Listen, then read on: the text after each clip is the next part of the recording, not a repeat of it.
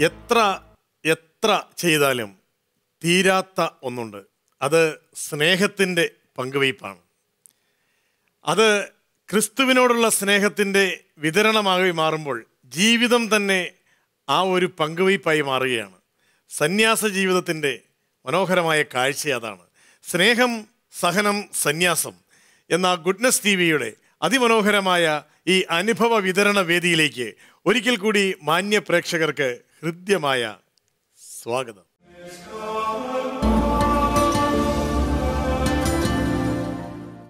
ക്രിസ്തുവിന്റെ സ്നേഹം ആരെയും ഒഴിവാക്കുന്നില്ല.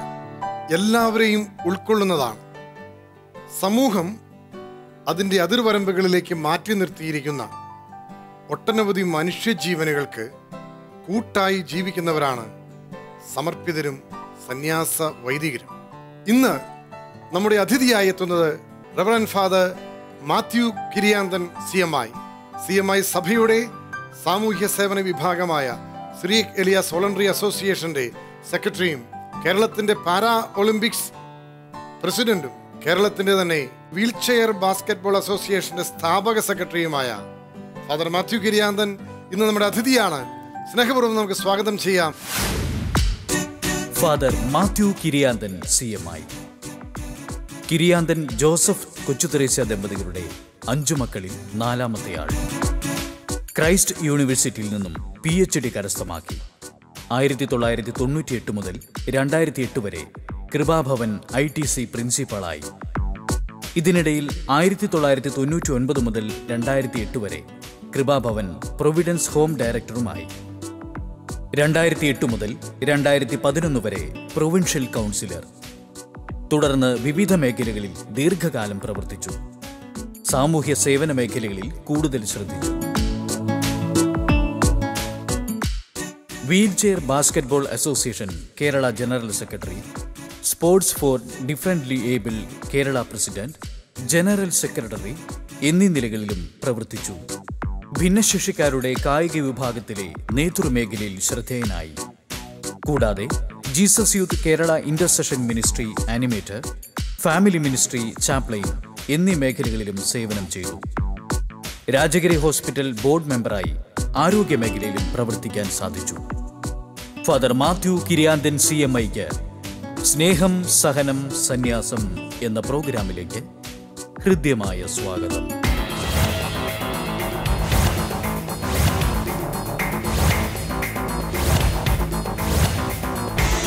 സ്നേഹമുള്ളവരെ ഇന്നത്തെ ഈ കൂട്ടായ്മയ്ക്ക് ഞങ്ങൾക്ക് മൂന്ന് പേർക്കും ഒരു വലിയ സന്തോഷമുണ്ട്. സി എം ഐ സഭയിൽ ഒരുമിച്ച് പഠിക്കുകയും ഒരുമിച്ച് കളിക്കുകയും ഒരുമിച്ച് വളരുകയും ചെയ്ത് ഒരുമിച്ച് തിരിപ്പട്ടം സ്വീകരിച്ച ഞങ്ങളുടെ ബാച്ചിൽ നിന്ന് ഞങ്ങൾ മൂന്ന് പേർ ഇപ്പോൾ നിങ്ങളുടെ മുമ്പിൽ നിൽക്കുകയാണ്.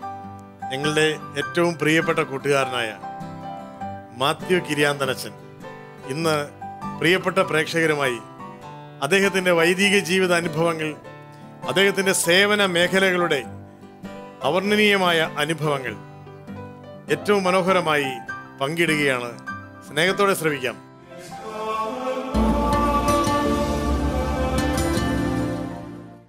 അതിരുകളില്ലാത്ത സ്നേഹവുമായി ചക്രവാളങ്ങളെ പുൽകുവാനുള്ള വിളിയാണ് യഥാർത്ഥത്തിലുള്ള സന്യാസ വൈദിക സമർപ്പിത ജീവിതം. ഇന്ന് നമ്മോടൊപ്പമുള്ള മാത്യു കിരിയാന്തനച്ചൻ. ഇത്തരത്തിൽ മതിലുകളില്ലാത്ത അതിരുകളില്ലാത്ത വൈദിക സമർപ്പിത ജീവിതത്തിന്റെ ഏറ്റവും നല്ല ഉദാഹരണങ്ങളിൽ ഒന്നാണ്. അച്ഛന്റെ വിശേഷങ്ങൾ നമുക്ക് ചോദിച്ചറിയാം.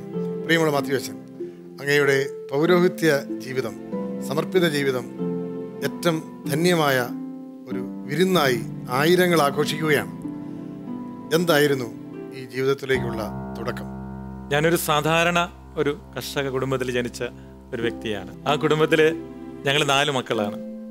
അപ്പച്ചൻ അമ്മച്ചി രണ്ട് ജ്യേഷ്ഠ സഹോദരങ്ങൾ ഒരു ജ്യേഷ്ഠ സഹോദരി. ഞാൻ വീട്ടിലെ ഇളയ മകനാണ്. ഇളയ മകനും എളിയ മകനും എളിയ മകനുമാണ്. തീർച്ചയായിട്ടും. അതുകൊണ്ട് തന്നെ വീട്ടിലെ പുന്നാരങ്ങളും സ്നേഹ പരിലാലനങ്ങളൊക്കെ കൂടുതൽ വാങ്ങിച്ച് വളരുവാനായിട്ട് എനിക്ക് ഒത്തിരി സാധിച്ചിട്ടുണ്ട്. അതിൽ ഏറ്റവും കൂടുതൽ എനിക്ക് തോന്നുന്നു എന്നെ ആകർഷിച്ചിട്ടുള്ളത് എന്റെ അമ്മച്ചിയുടെയും അപ്പച്ചന്റെയും പ്രാർത്ഥനാ ജീവിതം. ഒരുപക്ഷെ എന്റെ സന്യാസ വൈദിക ജീവിതത്തിലേക്ക് എന്നെ കൈപിടിച്ച് നടത്തുവാനായിട്ട് എനിക്ക് വലിയ ഒരു മുതൽക്കൂട്ടായിട്ടുണ്ട്. അവിടെ ഒപ്പം തന്നെ എനിക്ക് തോന്നുന്നു എന്റെ അമ്മച്ചിയുടെ ഒരു ദാനശീലമുണ്ട്. വീട്ടിൽ ആരെങ്കിലും വന്നാൽ വീട്ടിൽ ഞങ്ങളുടെ മിക്കവാറും ആ പരിസരത്തുള്ള അതിലെ ഭിക്ഷക്കാരൊക്കെ വന്ന് വരുമ്പോൾ അവർ ഏറ്റവും സ്നേഹത്തോടുകൂടെ വീട്ടിലേക്ക് സ്വീകരിക്കുകയും അവർക്ക് ഒരു നേരം വെച്ച് വിളമ്പി വളരെ സ്നേഹത്തോടുകൂടെ അവരെ പറഞ്ഞയക്കുന്ന ഒരു അമ്മച്ചിയുടെ മുഖം ഇന്നും എന്റെ മനസ്സിലുണ്ട്. ഒരുപക്ഷെ എന്റെ സന്യാസ ജീവിതം തുടങ്ങിയതിന് ശേഷം എനിക്ക് തോന്നുന്നു പ്രത്യേകിച്ച് തിരുപ്പട്ടത്തിന് ശേഷം ആദ്യമായിട്ട് ഞാൻ കൃപ എന്ന് പറയുന്ന ഒരു സ്ഥാപനത്തിലേക്കാണ് ഞാൻ ചെല്ലുന്നത്. അവിടെ ഭിന്നശേഷിക്കാരായ കുട്ടികൾക്ക് വേണ്ടിയിട്ടുള്ള ഒരു വൊക്കേഷണൽ ട്രെയിനിങ് സെന്ററാണ് കൃപ എന്ന് പറയുന്നത്. കൃപ എന്ന് പറഞ്ഞാൽ നമുക്കറിയാം അതിന്റെ വാക്കിന്റെ അർത്ഥം തന്നെ ദൈവത്തിന്റെ അനുഗ്രഹം നിറഞ്ഞ ഒരു സ്ഥലമാണ്. ഭിന്നശേഷിക്കാരായ കുട്ടികളെ പഠിപ്പിച്ച് അവരെ ഏതെങ്കിലും ഒരു തൊഴിൽ പഠിപ്പിച്ച് അവരെ ജീവിതത്തിൽ പുനരധിവസിപ്പിക്കുക എന്നുള്ള വലിയ ഒരു ലക്ഷ്യത്തോടു കൂടെ തന്നെയാണ് ആ സ്ഥാപനം തുടങ്ങുക. എന്തൊക്കെ ന്യൂനതകളാണ് അവർക്ക് കൂടുതലായിട്ടുള്ളത്? അംഗവൈകല്യമാണോ അതോ? ശാരീരിക ന്യൂനത എന്ന് പറയുമ്പോൾ നമ്മൾ പറയും ലോക്കോ മോട്ടോ ഡിസബിലിറ്റി ആണ്. എന്ന് വെച്ചാൽ അവർക്ക് ചലന വൈകല്യം കൂടുതലായിട്ട് ഏറ്റവും കൂടുതൽ ചലന വൈകല്യമാണ്. കാരണം പോളിയോ വന്ന കുട്ടികളുണ്ട്. അരയ്ക്ക് താഴെ തളർന്ന സ്പൈനൽ കോഡ് ഇഞ്ചുറി ആയിട്ട് തളർന്ന കുട്ടികളുണ്ട്. തീർത്തും പാരാപ്ലേജി ആയിട്ട് അതായത് അല്പം ഇഴഞ്ഞു നടക്കുന്ന കുട്ടികൾ വരെയാണ് തറ തറയിൽ തന്നെ ഇരുന്ന് ഇഴഞ്ഞു നടക്കുന്ന കുട്ടികൾ. അങ്ങനെ പല വിധത്തിലുള്ള ചലന വൈകല്യങ്ങൾ അനുഭവിച്ചു പോകുന്ന കുട്ടികളാണ്. അതിൽ തന്നെ അവർക്ക് ചിലപ്പോൾ ചിലരുടെ കൈകൾ അമ്പ്യൂട്ടഡ് ആയിട്ടുണ്ടാവും. ചിലപ്പോൾ മുഴുവൻ കൈ ഉണ്ടാകണമെന്നില്ല. പക്ഷേ അവരൊക്കെ വളരെ സന്തോഷത്തോടു കൂടെ തന്നെ ഒരു കുടക്കീഴിൽ ഒരു ഭവനത്തിൽ എന്ന പോലെ അവിടെ വസിച്ചു പോകുന്നു എന്നുള്ളത് വലിയ ഒരു സന്തോഷമാണ്. അവരുടെ കൂടെ ആയിരിക്കുക എന്നുള്ളത് എന്നെ സംബന്ധിച്ചിടത്തോളം അതുപോലെ ഞങ്ങളുടെ സന്യാസ സമൂഹത്തിലെ ഞങ്ങളുടെ കൂടെ വർക്ക് ചെയ്യുന്ന അച്ഛന്മാരും ബ്രദേഴ്സിനെയൊക്കെ സംബന്ധിച്ചിടത്തോളം വലിയൊരു എൻറിച്ചിങ് എക്സ്പീരിയൻസ് ആയിരുന്നു. കാരണം ഇവരുടെയൊക്കെ ജീവിതത്തിൽ ഒരുപാട് ഇവർ ചലനവൈകല്യങ്ങൾ മാത്രമല്ല അവരുടെ ജീവിതത്തിൽ. അതിനേക്കാളൊക്കെ ഉപരിയായിട്ട് അവർക്ക് ഒരുപാട് കുറവുകളുണ്ട്. ആ കുറവെന്ന് പറഞ്ഞാൽ ഒരുപക്ഷെ ഒരു സ്നേഹരാഹിത്യമാണ്. എന്ന് പറഞ്ഞാൽ അവരുടെ കുടുംബത്തിൽ ചിലപ്പോൾ ഒരുപക്ഷെ അവരുടെ മാതാപിതാക്കൾ പൂർണമായിട്ട് അവർ സ്നേഹിക്കാൻ പറ്റാത്ത ഒരുപാട് സാഹചര്യങ്ങൾ അവർക്കുണ്ട്. അവരിതിനെ ഒരുപാട് നമ്മളോട് ഷെയർ ചെയ്യാറുണ്ട്. ചിലപ്പോൾ വീട്ടിൽ ഞാനെന്ന് പറയുന്നത് ഒരു ശാപമായിട്ട് ചിലപ്പോൾ കണ്ടുവരുന്ന മാതാപിതാക്കന്മാരുണ്ട്. ഇപ്പൊ അവിടെ ഇൻസ്റ്റിറ്റ്യൂഷനിലെ കുട്ടികളെ സംബന്ധിച്ചിടത്തോളം അവർ ആ ഇൻസ്റ്റിറ്റ്യൂഷനിൽ പുറത്തോട്ട് പോകാൻ അവരുടെ വീട്ടിലേക്ക് തിരിച്ചു പോകാൻ പലർക്കും താല്പര്യമില്ല. അതിന്റെ താല്പര്യക്കുറവ് എന്താണെന്ന് ചോദിച്ചു കഴിഞ്ഞാൽ ഇവിടെ അവരെല്ലാവരും അക്സെപ്റ്റഡ് ആണ്. എല്ലാവരും ഒരുപോലെ അവിടെ ചുറ്റും നോക്കുമ്പോൾ എല്ലാവർക്കും എന്തെങ്കിലുമൊക്കെ കുറവുകളുണ്ട്. അപ്പോൾ അതുകൊണ്ട് തന്നെ അവരുടെ കുറവുകൾ അവിടെ ഒരു കുറവുകളല്ല. അതൊരു വലിയൊരു നിറവിന്റെ അനുഭവമാണ്. പിന്നെ കൂടെയുള്ളവരാണെങ്കിലും എല്ലാവരും അവരെ സഹായിക്കുന്നു. അവരെ ഒരു പഠി അവരെ ഒരു തൊഴിൽ പഠിപ്പിക്കുന്നു. സ്വന്തമായിട്ടൊരു തൊഴിൽ പഠിച്ച് കഴിഞ്ഞ് കഴിയുമ്പോൾ ആ തൊഴിലിൽ നിന്ന് അവർക്കൊരു ചെറിയൊരു വേതനം കിട്ടി കഴിയുമ്പോൾ അത് അവരുടെ ജീവിതത്തിൽ വലിയൊരു അംഗീകാരമാണ്. വേതനം കിട്ടി തൊഴിൽ കിട്ടി കഴിയുമ്പോൾ ഓട്ടോമാറ്റിക് കുടുംബങ്ങൾക്ക് അവർ വേണ്ടപ്പെട്ടവരായി. അവരുടെ സമൂഹത്തിന് അവർ വേണ്ടപ്പെട്ടവരായി. അവർക്ക് കൂട്ടുകാരായി ഫ്രണ്ട്സായി. ഈവൻ അവർക്ക് അവരുടെ ജീവിത വിവാഹ ജീവിതത്തിലേക്ക് വരെ അവർക്ക് വളരെ എളുപ്പത്തിൽ ഈവൻ ഡിസേബിൾഡ് ആയിട്ടുള്ള ഭിന്നശേഷിക്കാരായ കുട്ടികൾക്ക് നോർമൽ ആയിട്ടുള്ള നിന്ന് വരെ വിവാഹാലോചനകൾ വരുന്ന ഒരു അനുഭവമുണ്ട് കാരണം അവർ വെൽ എക്യുപ്ഡ് ആണ് അവർക്ക് ജോലിയുണ്ട് അവർക്ക് നല്ലൊരു വരുമാനമുണ്ട്. അപ്പോൾ അതുകൊണ്ട് തന്നെ അവരുടെ ജീവിതങ്ങൾ വളരെ സമൂഹത്തിൽ പെട്ടെന്ന് ഉൾച്ചേരാനായിട്ടുള്ള ഒരു സോഷ്യൽ ഇൻക്ലൂഷൻ പൂർണമായിട്ട് നടക്കുന്നത് അവിടെയാണ്. ഗവൺമെന്റ് തലത്തിൽ എന്തെങ്കിലും ജോലികളൊക്കെ അവർക്ക് കിട്ടിയിട്ടുണ്ട്? തീർച്ചയായിട്ടും. ഗവൺമെന്റ് തലത്തിൽ ഒരുപാട് ജോലികൾ അവർക്ക് ത്രീ പെർസെന്റേജ് റിസർവേഷൻ പ്രത്യേകിച്ച് ഭിന്നശേഷിക്കാർക്ക് വേണ്ടിയിട്ട് ഗവൺമെന്റിന്റെ എല്ലാ തസ്തികളും മൂന്ന് ശതമാനം റിസർവേഷൻ അവർക്കുണ്ട്. അതോടൊപ്പം തന്നെ മറ്റു രീതിയിൽ പഠിച്ചു വരുന്നവർക്ക് നമ്മുടേതായിട്ടുള്ള സ്ഥാപനം ഞങ്ങളുടെ തന്നെ ഹോസ്പിറ്റലുകൾ കോളേജുകളിൽ ഈവൻ ഞങ്ങളുടെ ആശ്രമങ്ങളിൽ തന്നെ ഒരുപാട് പേര് ജോലി ചെയ്യുന്നവരുണ്ട്. അവർക്ക് ശാരീരിക ന്യൂനതയുണ്ടായ ഒരു അവസരത്തിൽ വീടിന് ഭാരമായി പോകും എന്നുള്ള ഒരു ആശങ്ക നിലനിന്ന സമയത്ത് മാതാപിതാക്കൾ അവരെ കൃപയിൽ കൊണ്ടുപോയി പരിശീലിപ്പിക്കാൻ ഏൽപ്പിച്ചിട്ട് അവർ പോയി. കൃപ അവരൊക്കെ കൃപയായി മാറുകയും അവർക്കൊരു ജീവിതത്തിന്റെ വഴി തുറന്നു കൊടുക്കുകയുമായിരുന്നു. അല്ലേ? എന്നിട്ട് തന്നെ രാജഗിരി എഞ്ചിനീയറിംഗ് കോളേജിൽ അവിടുത്തെ ലാബ് ടെക്നീഷ്യനായിട്ട് വർക്ക് ചെയ്യുന്ന നമ്മുടെ കൃപയിൽ പഠിച്ച നമ്മുടെ രണ്ട് കുട്ടികൾ അവിടെ ജോലി ചെയ്യുന്നുണ്ട്. അവരെ സംബന്ധിച്ചിടത്തോളം ഒരാളെ സംബന്ധിച്ചിടത്തോളം ഒരാൾ തീർത്തും മൊബിലിറ്റി അതായത് ചലന വൈകല്യം കൂടുതലുള്ള ഒരു വ്യക്തിയാണ്. പക്ഷെ ആ വ്യക്തി ഇന്ന് കാർ ഓടിച്ച് അവിടെ പോയി ജോലി ചെയ്തു വരുന്നെന്നുള്ളതാണ് അതിന്റെ ഒരു വലിയ സന്തോഷം. നിന്നാണ് ഈ കാറിലേക്ക് എത്തിയത്. നിലത്തിൽ കൂടെ നമ്മുടെ തറയിലൂടെ ഇങ്ങനെ സ്ക്രോൾ ചെയ്ത് നമ്മൾക്കറിയാലോ സ്ക്രോൾ ചെയ്ത് ബോഡി മൂവ്മെന്റ്സിൽ സ്ക്രോൾ ചെയ്ത് അവന്റെ രണ്ട് കൈകൾക്കും അത്തരം ശക്തിയില്ല. കാലുകൾ രണ്ടും പോളിയോ വന്ന് തളർന്ന രണ്ട് കാലുകളാണ്. പക്ഷെ എന്നാലും അവൻ സ്ക്രോൾ ചെയ്ത് ഇങ്ങനെ പോയിക്കൊണ്ടിരുന്നവൻ പയ്യെ ക്രച്ചസ് ഉപയോഗിച്ച് പയ്യെ നടക്കാൻ തുടങ്ങി. ക്രച്ചസും അതുപോലെ തന്നെ മറ്റേ കാലിപ്പേഴ്സ് ഉപയോഗിച്ചിട്ട് അവൻ പയ്യെ നടന്ന് കയ്യിൽ അവന്റെ ഒരു രണ്ട് വിരലാണ് എഴുതിയത് ആദ്യം അവൻ ത്രീ വീലർ ഓടിക്കാൻ പഠിച്ചു. ത്രീ വീലർ അത് വെച്ച് അതിന്റെ മെക്കാനിസം ആ രീതിയിൽ അവൻ ശരിപ്പെടുത്തിയിട്ട് അതിൽ ത്രീ വീലർ ഓടിച്ച് കൊണ്ടുപോയി. അതിനുശേഷം ഇപ്പോൾ അവൻ കാർ ഓടിച്ച് പോകുന്ന ഒരു അനുഭവത്തിലേക്ക് വരാനായിട്ട്. പ്രിയപ്പെട്ട ഷിൻഡോയോട് ഒരു ചോദ്യം. സി എം ഐ സഭയുടെ കൃപ എന്ന ഈ ഒരു സ്ഥാപനത്തിൽ മാത്യു കിരിയാന്തൻ അച്ഛന്റെ നേതൃത്വത്തിലുള്ള ഒരു ടീമിന്റെ പരിശീലനം എങ്ങനെയാണ് ഷിൻഡോ രൂപാന്തരപ്പെടുത്തിയത് എന്ന് നമ്മുടെ ഗുഡ്നെസ് ടി വിയുടെ പ്രേക്ഷകർക്കായിട്ട് ഒന്ന് പറയുക ചെറുപ്പത്തിൽ പോളിയോ വന്ന് നടക്കാൻ ബുദ്ധിമുട്ടുള്ള വ്യക്തിയായിരുന്നു. പി ഡി സി പഠനത്തിന് ശേഷം കാലിന് ഓപ്പറേഷൻ നടത്തുകയും മുറ്റത്ത് പഠിക്കാൻ നടന്നു പഠിക്കാൻ പ്രാക്ടീസ് ചെയ്യുകയായിരുന്ന എന്നെ അതുവഴി പോകുകയായിരുന്ന ബഹുമാനപ്പെട്ട അഗസ്റ്റച്ചനും മാത്യു കുര്യാച്ചൻ കാണാനിടയാവുകയും കൃപയിൽ താമസിച്ച് പഠിക്കുവാൻ എന്നെ ക്ഷണിക്കുകയും ചെയ്തു. അതനുസരിച്ച് കൃപയിൽ ചേർന്ന് ഐ ടി സി പഠിക്കാനുള്ള അവസരം ലഭിക്കുകയും ചെയ്തു. അതെനിക്ക് മാനസികവും ശാരീരികവുമായി ഒത്തിരി വളരാൻ സഹായമായി. ഐ ടി സി കഴിഞ്ഞതിന് ശേഷം മാത്യച്ചന്റെ പ്രേരണയാൽ സി എം എയുടെ തന്നെ കോളേജായ ശാന്തിഗിരിയിൽ ഡിഗ്രി പഠനം നല്ല രീതിയിൽ പൂർത്തിയാക്കുവാനും എനിക്ക് സാധിച്ചു. ഡിഗ്രി പഠനത്തിന് ശേഷം സി എം ഐയുടെ എഞ്ചിനീയറിംഗ് കോളേജിൽ മാത്യച്ചൻ എനിക്ക് ഒരു ജോലി ശരിയാക്കി തരികയും അവിടെ തുടർന്നുകൊണ്ട് ഞാനിപ്പോൾ നന്നായി ജീവിക്കുകയും ചെയ്യുന്നു.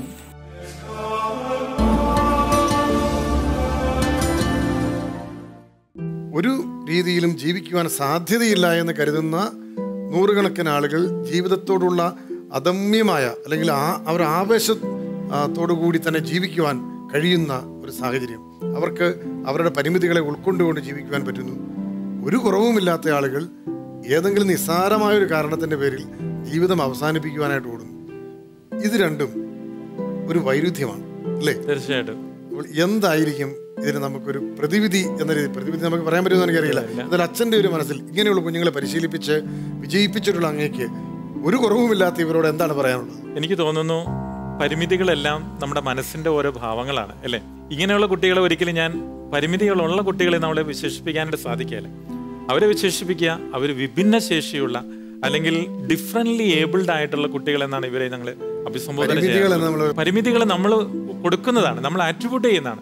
അവർക്ക് കാഴ്ചയില്ല അല്ലെങ്കിൽ അവർക്ക് ചെവി കേൾക്കാൻ പാടില്ല അല്ലെങ്കിൽ അവർക്ക് നടക്കാനായിട്ട് ബുദ്ധിമുട്ടുണ്ട്. ഇങ്ങനെയുള്ള ഓരോ ചെറിയ ചെറിയ വൈകല്യങ്ങൾ നമ്മൾ അവർക്ക് ആട്രിബ്യൂട്ട് ചെയ്യുന്നതാണ് നമ്മൾ അവർക്ക് കൊടുക്കുന്നത്. പക്ഷെ അവരുടെ ജീവിതത്തിൽ അവർക്ക് അതിനേക്കാളും ഉപരിയായിട്ട് മറ്റു വിധത്തിലുള്ള കഴിവുകൾ അവളെ വളരെയധികം ശക്തമാണ് വളരെ.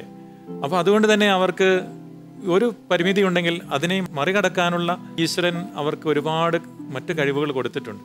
അപ്പോൾ ആ കഴിവുകൾ തിരിച്ചറിഞ്ഞു കഴിഞ്ഞിട്ടുണ്ടെങ്കിൽ തീർച്ചയായിട്ടും അവർക്ക് ജീവിതത്തെ സ്വാഗതം ചെയ്യാനായിട്ട് സാധിക്കും.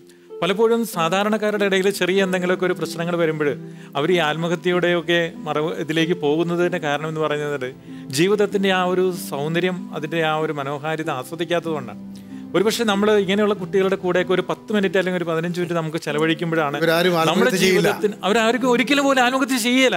ചെയ്യാൻ അവർക്ക് സാധിക്കുകയില്ല കാരണം ഇത്രയും ബുദ്ധിമുട്ട് അനുഭവിക്കുന്ന മക്കൾ എന്ന് വെച്ചിട്ടുണ്ടെങ്കിൽ അവർക്ക് അവരുടെയൊക്കെ മനസ്സിന്റെ വേദനകൾ എന്ന് പറയുന്നത് നമുക്കത് കൗണ്ട് ചെയ്യാനായിട്ട് സാധിക്കുകയില്ല അത്രമാത്രം മാനസിക വ്യഥകളിലൂടെയാണ് അവർ കടന്നു പോകുന്നത്.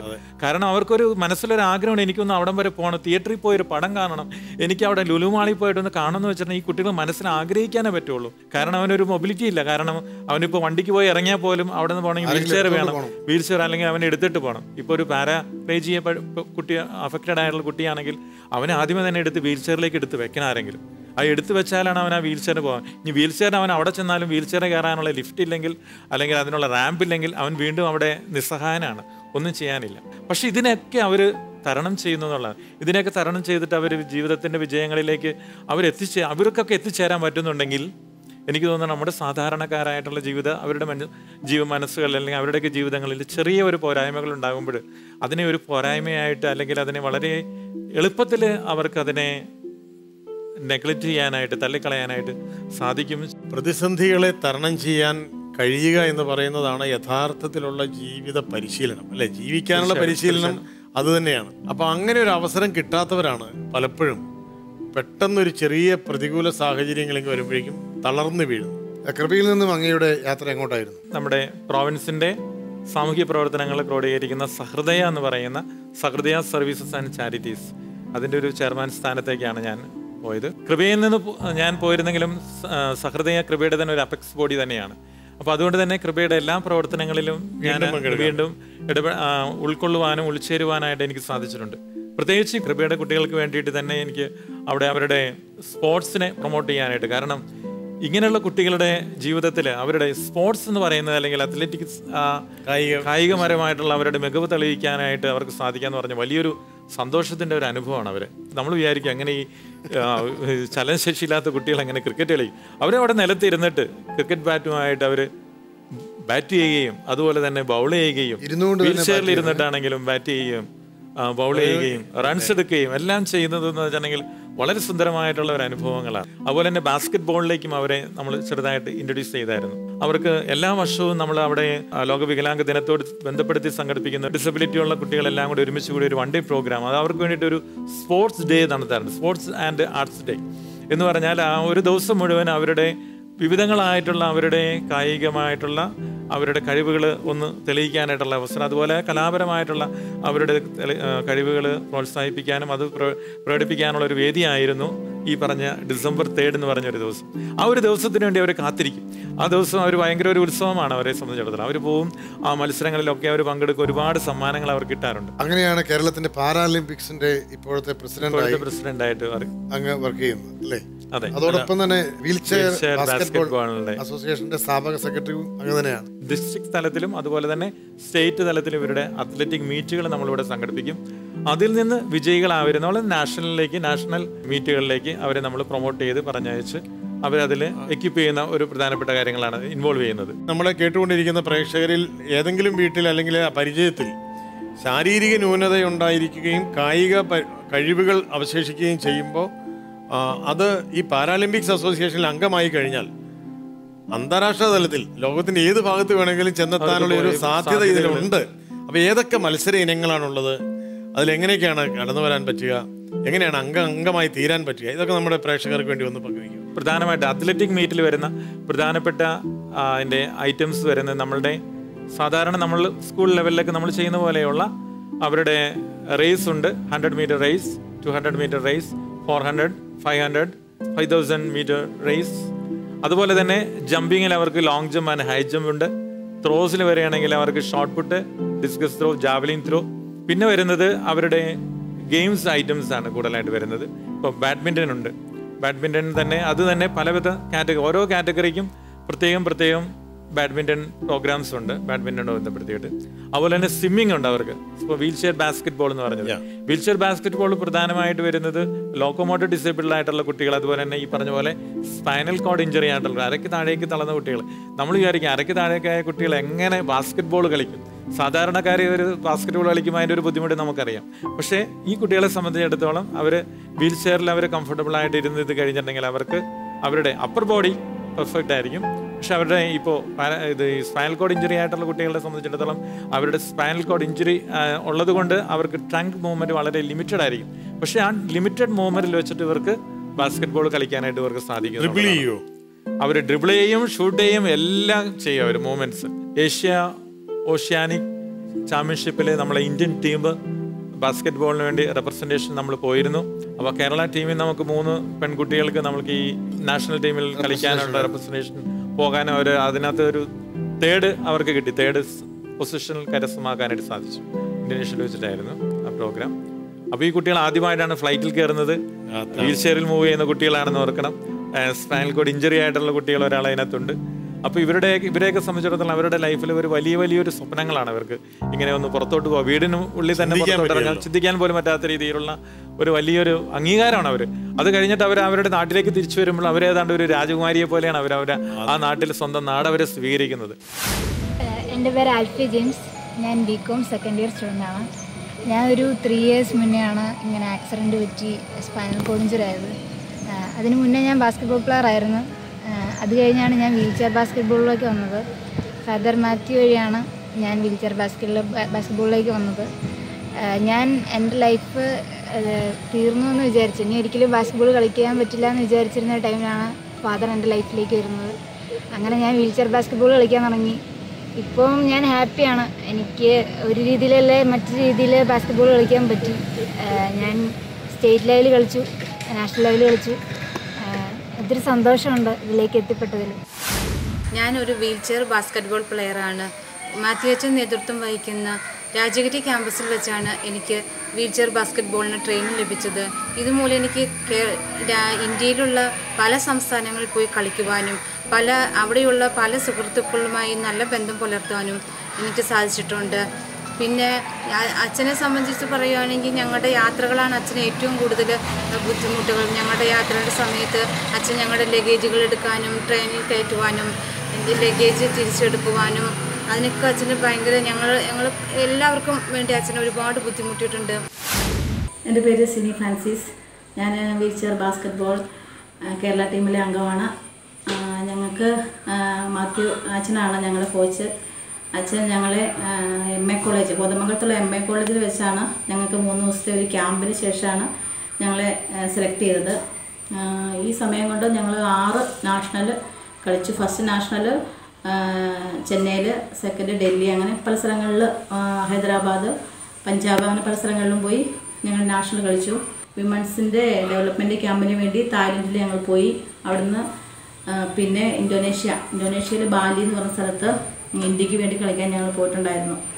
ഞങ്ങളെപ്പോലെയുള്ളവർക്കൊരു വളരെ സന്തോഷകരമായ ഒരു കാര്യമായിരുന്നു. മാത്യുസിനാണ് ഇത് എല്ലാത്തിനും ഞങ്ങളെ ഹെൽപ്പ് ചെയ്തതും.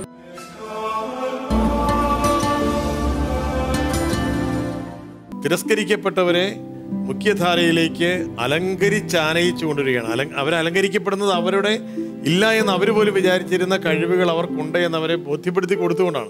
അത്തരത്തിലുള്ള ഒരു വലിയ നിശബ്ദ വിപ്ലവത്തിന്റെ ഒരു വിപ്ലവകാരിയാണ് നമ്മുടെ പ്രിയപ്പെട്ട ആ മാത്യു അച്ഛൻ. ഇത്തരത്തിലുള്ള സ്ഥാപനങ്ങളുമായി ബന്ധപ്പെട്ട് വളരെ പ്രതിഭകളായി ലോകമറിയുന്ന താരങ്ങൾ പിറന്നു വന്നിട്ടുണ്ട്. കൃപയെ സംബന്ധിച്ചിടത്തോളം കൃപയിൽ തന്നെ ജോലി ചെയ്തിരുന്ന ജോബി മാത്യു. ഞങ്ങൾ ഒരുമിച്ച് വർക്ക് ചെയ്തിരുന്ന കോ വർക്കേഴ്സ് ആയിരുന്നു. ജോബി മാത്യുവിന്റെ ലൈഫ് എന്ന് പറയുന്നത് എനിക്ക് തോന്നുന്നു നമുക്ക് എല്ലാവർക്കും വലിയ ഒരു പ്രചോദനാത്മകമായിട്ടുള്ള ഇൻസ്പിറേഷണലാണ് അസാമാന്യമായിട്ടുള്ള ഒരു വിൽ പവറാണ് അപാര വിൽ അപാര വിൽ പവർ ഒരുപാട് സ്ട്രഗിളിലൂടെയും കഷ്ടപ്പാടുകളിലൂടെയും കടന്നു പോകും. കാരണം എനിക്ക് ഒത്തിരി നേരിട്ട് അനുഭവമുള്ളതുകൊണ്ട് പക്ഷേ ഈ സ്ട്രഗിളിലൂടെ ഒക്കെ കടന്നു പോയാലും ഇതിനെയൊക്കെ അതിജീവിക്കാനായിട്ട് സാധിക്കും എന്നുള്ളൊരു അസാമാന്യമായിട്ടുള്ളൊരു പവർ ഇന്നിപ്പോൾ ഈ മിനിറ്റിന് ജോബി മാത്യുവിന് തോന്നുന്നു തിരുവനന്തപുരത്ത് പോകണമെന്ന് വെച്ചാൽ ജോബി മാത്യു വിത്തിൻ സെക്കൻഡ്സ് അദ്ദേഹത്തിന്റെ ഒരു മുച്ചക്ര വാഹനമുണ്ട്.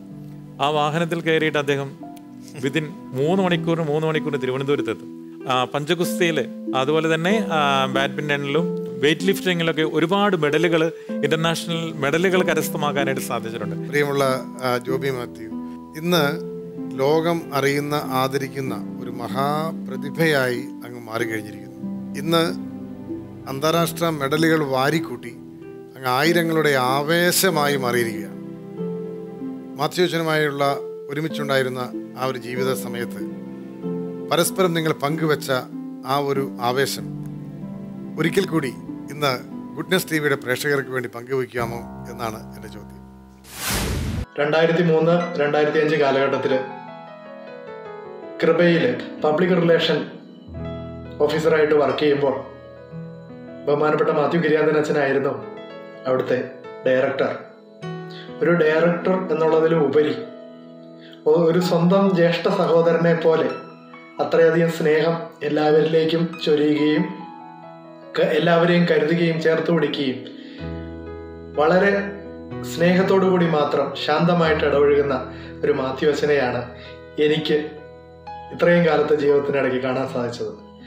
എന്റെ എല്ലാ ഉയർച്ചകളിലും ഒപ്പം നിൽക്കുകയും പ്രോത്സാഹനം നൽകുകയും ചെയ്ത ഒരു ജ്യേഷ്ഠ സഹോദരൻ അല്ലെങ്കിൽ ഒരു വൈദിക ശ്രേഷ്ഠൻ ആയിട്ടാണ് ഞാൻ ഇന്നും മാത്യുജനെ ബഹുമാനത്തോടു കൂടി കാണുന്നത്.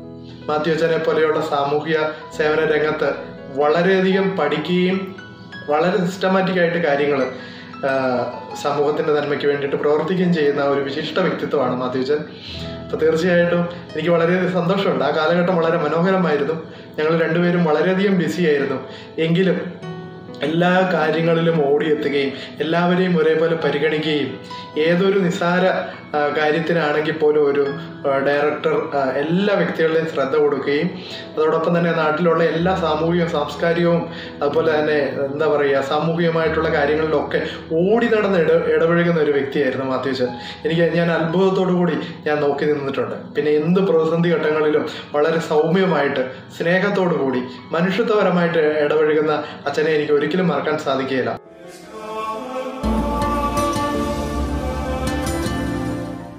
കേരളത്തിൽ ഇപ്പോൾ മുന്നൂറ് സ്പെഷ്യൽ സ്കൂളുകൾ സ്വകാര്യ മാനേജ്മെന്റിന്റെ കീഴിലും പത്ത് നൂറോളം സ്പെഷ്യൽ സ്കൂളുകൾ ബഡ് സ്കൂളുകൾ എന്നുള്ള പേരിൽ പഞ്ചായത്തിന്റെ കീഴിലൊക്കെ ഉണ്ടായിട്ടും മുപ്പത്തി അയ്യായിരത്തിലധികം കുഞ്ഞുങ്ങൾ ഈ സ്കൂളിൽ വന്നിട്ടില്ല. ഇതുവരെ വന്നിട്ടില്ല. ബാക്കി രണ്ടര മൂന്ന് ലക്ഷത്തോളം കുഞ്ഞുങ്ങൾ വീടുകളിൽ ഇരിക്കുകയാണ്. കുഞ്ഞുങ്ങൾ എന്ന് പറഞ്ഞു കഴിഞ്ഞാൽ കുഞ്ഞു മനസ്സുള്ളവർ വീട്ടിന് പുറത്തിറങ്ങാതിരിക്കണം. എന്ന് വെച്ച് കഴിഞ്ഞാൽ ഒരു വീടിന്റെ വൈകല്യമാണ് അതെന്ന് തെറ്റിദ്ധരിച്ചിട്ടാണ്. അപ്പം അങ്ങനെ പുറത്തേക്ക് വരുന്നില്ല. പൊതുസമൂഹവുമായിട്ട് ബന്ധപ്പെടുന്നില്ല. നമ്മുടെ മക്കൾക്ക് സാമൂഹികമായ ഇടപെടലിനെ സഹായിക്കുന്ന ഇത്തരത്തിലുള്ള സംഘടിത സംവിധാനങ്ങളോട് നമ്മുടെ മക്കളെ ചേർത്ത് വയ്ക്കുക എന്നുള്ളതാണ്. മാതാപിതാക്കൾക്കും ബന്ധുക്കൾക്കും ഞങ്ങളെ കേട്ടുകൊണ്ടിരിക്കുന്ന പ്രേക്ഷകർക്കും ചെയ്യാൻ പറ്റുന്ന ഏറ്റവും നല്ല കാര്യം. നമ്മൾക്കൊരു കുട്ടിക്ക് ഒരു ആഗ്രഹം ഉണ്ടെങ്കിൽ ആഗ്രഹം ചിലപ്പോൾ നമ്മുടെ കുടുംബത്തിന് ചിലപ്പോൾ സാധിച്ചു കൊടുക്കാൻ സാധിച്ചെന്ന് വരില്ല. പക്ഷേ ആ കുടുംബത്തോട് ചേർന്ന് നിൽക്കുന്ന മറ്റു കുടുംബങ്ങളുണ്ടാകാം. അല്ലെങ്കിൽ മറ്റു സംഘടനകൾ ഉണ്ടാകാം അപ്പോൾ ഈ സംഘടനകൾ വഴിയായിട്ടൊക്കെ നമ്മൾ ചേരുകയാണെങ്കിൽ തീർച്ചയായിട്ടും അവരുടെ ഒരു പ്രോത്സാഹനത്തോടു കൂടെ ഇവരെ ഈ ശരിയായിട്ടുള്ള ഒരു സ്ഥലത്തേക്ക് ഇവരെ ഗൈഡ് ചെയ്യാനും അവർക്ക് വേണ്ടിയിട്ട് വേണ്ട രീതിയിലുള്ള പ്രോത്സാഹനം കൊടുക്കാനും അവരുടെ കഴിവുകൾ വർദ്ധിപ്പിച്ചെടുക്കാനായിട്ടുള്ള ഒരു അവസരം തീർച്ചയായിട്ടും ഉണ്ട്. അത് എല്ലാ ഡിസ്ട്രിക്റ്റിലും ഇതിനുള്ള അവസരങ്ങളുണ്ട്. അതുകൊണ്ട് തീർച്ചയായിട്ടും നമ്മൾ നമ്മുടെ കുട്ടികളെ ഒരിക്കലും ഒരിക്കൽ പോലും അത് ശാരീരിക വൈകല്യമായിക്കൊള്ളട്ടെ മാനസിക വൈകല്യമുള്ള കുട്ടികളായിക്കൊള്ളട്ടെ അവരെ വീടിന്റെ നാല് ചുവരുകളിൽ ഇരുത്തേണ്ടവരല്ല. അവർ ഈ ലോകത്തിലേക്ക് ഈ പ്രപഞ്ചത്തിലേക്ക് ഇറങ്ങേണ്ടവരാണ്. ഈ പ്രപഞ്ചത്തിന്റെ സൗന്ദര്യം അവർക്കും കൂടി ഉള്ളതാണ്. ഇതിലെല്ലാം അവരും എൻജോയ് ചെയ്ത് വരണം. കിരിയാന്തൻ ഫാമിലിയിൽ നിന്നും കുടുംബത്തിൽ നിന്നും മാത്യു കിരിയാന്തൻ അച്ഛൻ മാത്രമല്ല ആ കുടുംബത്തിലെ ഏക സഹോദരി sister Josmi Maria C M C Ernakulam C M C പ്രൊവിൻസിന്റെ സാമൂഹ്യ വിഭാഗം കൗൺസിലർ കൂടിയാണ്. രണ്ടുപേരും സാമൂഹ്യ സേവന മേഖലയിലാണ് പ്രവർത്തിക്കുന്നത്. ഈ ഒരു അനുഗ്രഹത്തിന് നമുക്ക് നന്ദി പറയാം. ഇനിയും അദ്ദേഹത്തിന്റെ ജീവിതത്തിൽ ദൈവം ധാരാളമായ അനുഗ്രഹങ്ങൾ നൽകട്ടെ എന്ന് നമുക്ക് പ്രാർത്ഥിക്കാം. ഈ ഒരു എപ്പിസോഡിൽ നമ്മോടൊപ്പം ചേർന്ന മാത്യു കിരിയാന്തൻ അച്ഛന് നമുക്ക് പ്രാർത്ഥനാപൂർവ മംഗളങ്ങൾ നേരാം. ഇനിയും ഇത്തരത്തിൽ കത്തോലിക്ക സഭയുടെ വ്യത്യസ്തമായ സ്നേഹ ശുശ്രൂഷകളുടെ വിളനിലമായി പ്രശോഭിക്കുന്ന മറ്റൊരു സ്നേഹസാക്ഷിയുമായി ഈ വേദിയെ ധന്യമാക്കുവാൻ വീണ്ടും ഞങ്ങളെത്തും വരെ ഏവർക്കും നന്ദി നമസ്കാരം. കത്തോലിക്കരും അതുപോലെ തന്നെ മർത്തമ്മക്കാരും ഓർത്തഡോക്സുകാരും ഒക്കെ ഉണ്ട്. അവരൊക്കെ ആയിട്ട് നല്ല ബന്ധങ്ങൾ ഉള്ളത് കൊണ്ട് തന്നെ അമ്മയ്ക്ക് അവരുടെ പ്രാർത്ഥന നടത്തി ഒന്ന് ജസ്റ്റ് പോകുക അതൊന്ന് കേൾക്കുക ഇതൊക്കെ വലിയ സന്തോഷമുള്ള കാര്യമാണ്. പക്ഷെ ഞാൻ ഇതിനൊക്കെ എതിരായിരുന്നു. അപ്പോൾ ഞാൻ പറഞ്ഞു എനിക്ക് ഏറ്റവും ആകർഷകമായി തോന്നുന്ന വ്യക്തിത്വം ഈശോയുടെ വ്യക്തിത്വമാണ്. അതുകൊണ്ട് തന്നെ ഞാൻ ആ ഒരു ക്രിസ്തുപക്ഷത്തേക്ക് ചായുന്ന ഒരു രീതിയിലേക്ക് മാറി. നമ്മൾ ഒരു സേവന മേഖല ചെയ്യുന്നുണ്ടെങ്കിൽ ഒരു ശുശ്രൂഷ മേഖല ചെയ്യുന്നുണ്ടെങ്കിൽ അതിൽ അടിയുറച്ചു നിന്നുകൊണ്ട് ചെയ്യുന്നെങ്കിൽ അതാണ് ഏറ്റവും ശക്തമായ പ്രതിരോധം. കാരണം അത് നമ്മൾ ചെയ്യുന്നത് എന്തിനു വേണ്ടിയാണ്? അമ്മ കുറേയേറെ സമയം എന്നോട് ചോദിച്ചു നിനക്ക് ഇവിടുന്ന് പഠിച്ചുവിടെ അങ്ങനെ ഇങ്ങനെയൊക്കെ ചോദിച്ചു. അവസാനം ഞാൻ പറഞ്ഞു എനിക്ക് മടത്തി പോലെ അത് ശരിയാകത്തുള്ളൂ. നീ എന്തോ സിസ്റ്റർ ആണാണോ? എന്ന് എന്നോട് ഇങ്ങനെ ചോദിച്ചു. ഈശോ മൗനം അവലംബിച്ചു. അതുകൊണ്ട് നമ്മളെല്ലാവരും മൗനം അവലംബിക്കണം. എന്ന് പറയുന്നുണ്ടെങ്കിൽ ഈശോ ചാട്ടവാറെടുത്ത് അടിച്ചോടിച്ചെടുത്ത് നമ്മൾ ചാട്ടവാറും മേടിക്കണം. സത്യത്തിൽ അതിനെതിരെ പ്രതികരിക്കുക എന്ന് മാത്രമല്ല ആഗോള സഭ ഒന്നായിട്ട് ഒറ്റക്കെട്ടായിട്ട് ഇതിനെതിരായിട്ട് നിൽക്കേണ്ടതാണ്.